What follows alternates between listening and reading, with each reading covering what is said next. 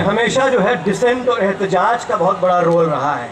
اور جب جب نفرت کی سیاست اس ملک میں دیکھی ہے، تب تک اردو شاعری نے نفرت کا دامن جھٹک کے یہ کہا ہے کہ ان کا جو کام ہے وہ اہل سیاست جانے، میرا پیغام محبت ہے جہاں تک پہنچے۔ میں بس دو نظمیں پیش کیے لیتا ہوں۔ پہلی نظم میں پیش کر رہا ہوں، محاصرہ۔ احمد فراز سے جب جنرل ضیاء الحق کی سرکار نے یہ کہا کہ یا تو ویسا لکھو جیسا ہم کہہ رہے ہیں اور یا پھر جیل جاؤ تو ان کا یہ جواب تھا۔ وہ جواب آج ہندوستان میں بہت موسوم ہے، میں پڑھے دے رہا ہوں۔ محاصرہ۔ محاصرہ کا مطلب ہوتا ہے سیچ میرے غنیم نے مجھ کو پیام بھیجا ہے کہ حلقہ زن ہے میرے ارد گرد لشکری اس کے۔ فصیلے شہر کے ہر برج، ہر مینارے پر کما بزست ستازہ ہیں، عسکری اس کے۔ وہ برق لہر بجھا دی گئی ہے، جس کی تپش وجود خاک میں آتش فشا جگاتی تھی۔ بچھا دیا گیا ہے بارود اس کے سینے میں۔ وجوہ آب جو میری گلی کو آتی تھی۔ سو شرط یہ ہے، شرط سنیے، سو شرط یہ ہے، جو جان کی امان چاہتے ہو تو اپنے لوہ قلم قتل گاہ میں رکھ دو، وگرنہ اب کی نشانہ کمانداروں کا۔ بس ایک تم ہو، سو غیرت کو راہ میں رکھ دو۔ یہ شرط نامہ جو دیکھا تو ایلچی سے کہا۔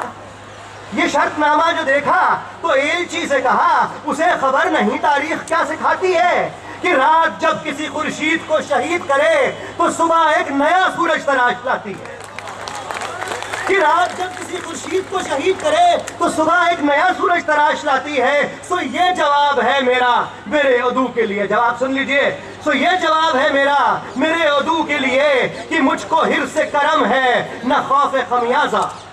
کہ مجھ کو حرص کرم ہے، نہ خوف خمیازہ۔ اسے ہے ستوت شمشیر پہ گھمنڈ بہت۔ اسے شکوہ قلم کا نہیں ہے اندازہ۔ میرا قلم نہیں، کردار اس محافظ کا۔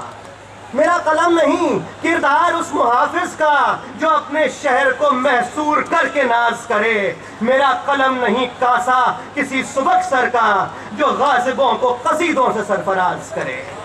میرا قلم نہیں، تسبیح اس مبلغ کی جو بندگی کا بھی ہر سو حساب رکھتا ہے۔ میرا قلم نہیں تسبیح اس مبلغ کی جو بندگی کا بھی ہر سو حساب رکھتا ہے۔ میرا قلم نہیں میزان ایسے عادل کی جو اپنے چہرے پر دورہ نقاب رکھتا ہے۔ میرا قلم تو امانت ہے میرے لوگوں کی۔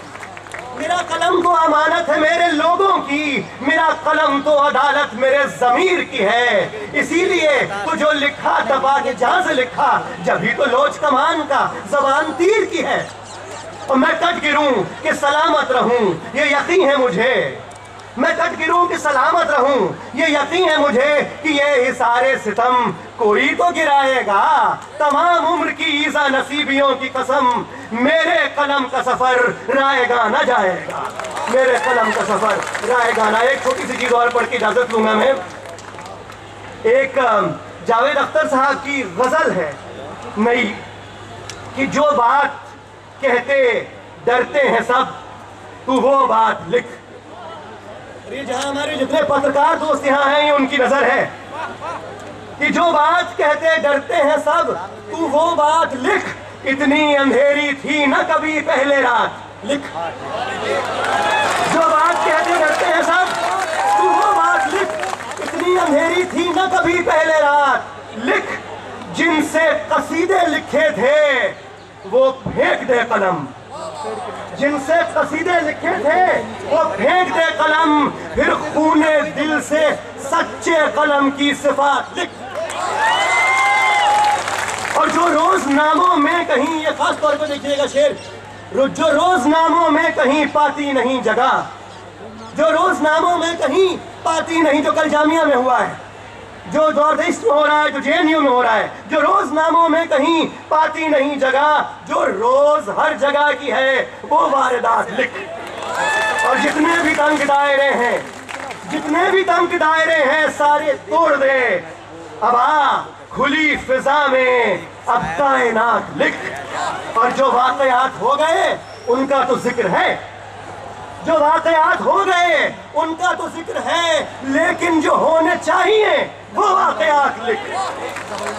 اور آخری شعر ہے کہ اس باغ میں جو دیکھنی ہے، تجھ کو پھر بہار، یہ آپ سب کے لیے ہے کہ جس باغ میں جو دیکھنی ہے، تجھ کو پھر بہار۔ تو ڈال ڈال دے صدا تو بات بات لکھ۔ جو بات کہتے ڈرتے ہیں سب، تو وہ بات لکھ۔ اتنی اندھیری تھی نہ کبھی، پہلے رات لکھ۔ بہت ہی مزاق ابھی تک ہمارا چینل سبسکرائب نہیں کیا ہے تو سبسکرائب کریں اور گھنٹی کا بٹن بالکل بھی دبانا نہ بھولیں تاکہ سبھی لیٹسٹ خبریں پہنچ سکیں آپ پہ سب سے پہلے۔